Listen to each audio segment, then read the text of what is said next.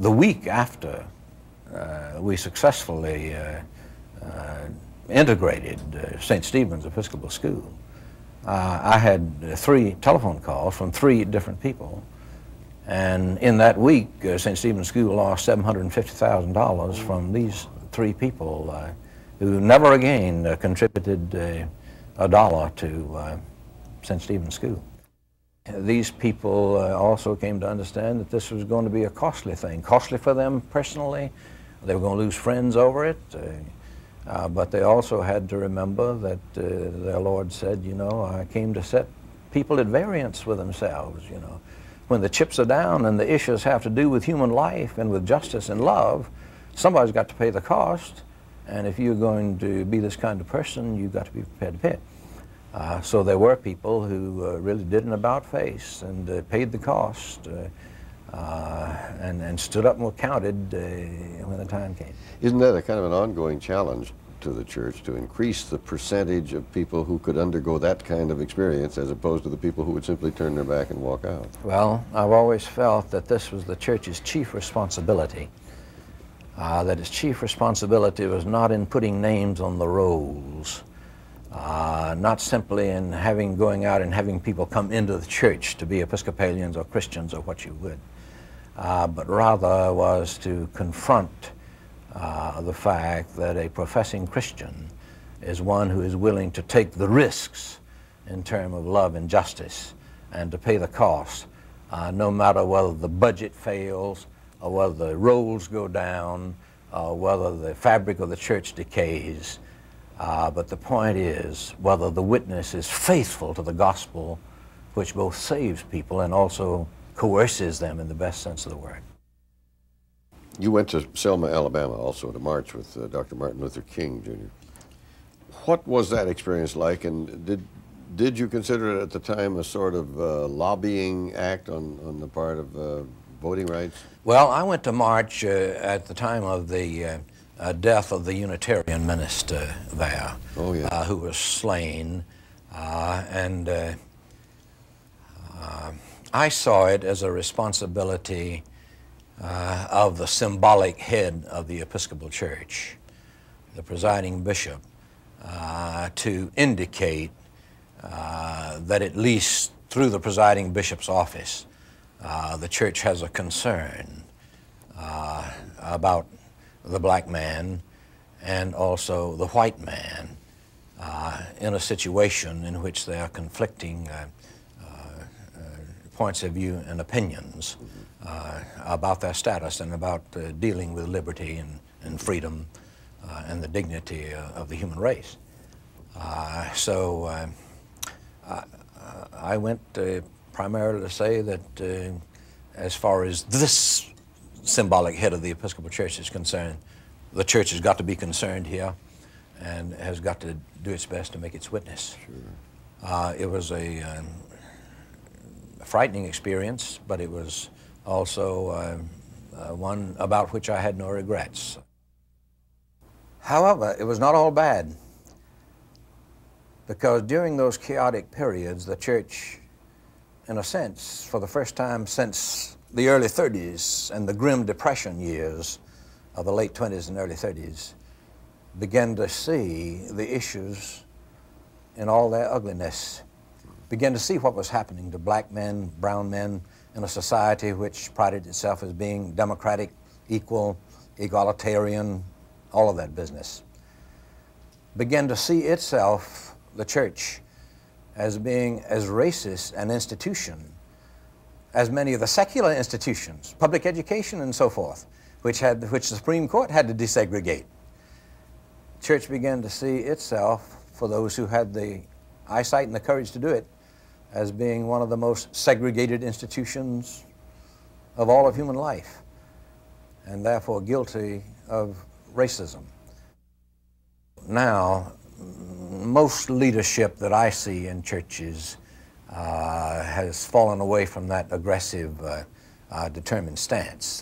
they are not as concerned to be out in front in leadership roles and uh, not concerned uh, too much to stick their neck out. They want to reconcile the church and uh, tighten and strengthen its fellowship and make it a more harmonious community, uh, assuming that that reflects uh, Christian love. Well, it may. I doubt it.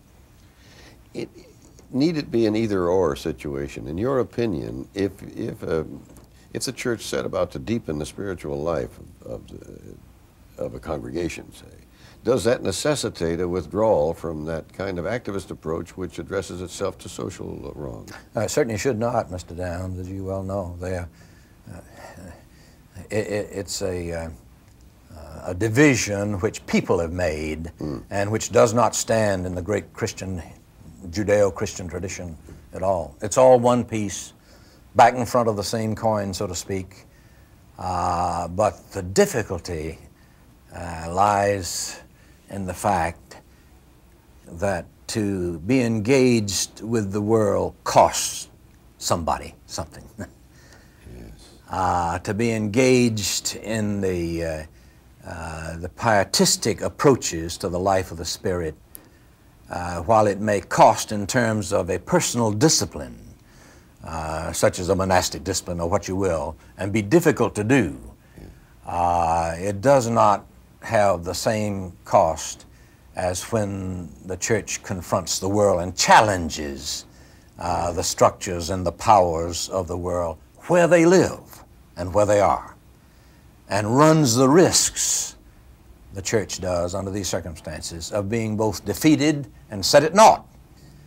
Now, a lot of people can't stand that. You know, they love their church, and uh, they still seek uh, the triumphant Messiah. You know, mm and to think uh, that they have put their trust in a Messiah which can be set at naught by the secular agencies of the world and ignored uh, and run down. Uh, they don't want to run that risk, and uh, therefore they sit on the other side of the fence. The release of atomic power and its implications have created a totally new society with totally new problems problems much more painful, uh, much more devastating than before. Therefore, the morality which the church endorses has got to be one, a much more flexible morality. Uh, it's, it's, it's got to be one which is tested, time tested in the areas of world activity and in the life of men and women, and not just a reflection of dogmatic doctrinaire positions, Particularly theological that positions. might have been 50 years church, ago. Right over that, that it might have been, just because the church said it 50 years ago was enough to make a whole lot of people listen and in a way behave. No more. The church does not anymore have that authority, or at least it has the authority, but it cannot exercise it in the same way in which it did previously. Now, the church can only exercise an authority if it bears in its body the marks of the Lord Jesus, if it has itself been crucified in the marketplace. And unless it is as just as it proclaims its gospel to be. Mm. Now, the pursuit of justice. Justice is the corporate face of love. You know, love has many faces in a way. Uh, people can love each other individually, but to love corporate society is extremely difficult so that to seek justice in corporate society, it is about as close as Christian love can get to mm. society. What the church can do and must do in order to exhibit as best it can the kind of love reflected in that declaration, God so loved the world, is to see that justice is enacted in society for all men and women, whoever they are. Now, when the church adopts this as its mission, then it begins to understand how it's related to the Lord Jesus Christ and his death and resurrection. It can relate itself in a certain sense theologically, metaphysically in a way, doctrinally in a way,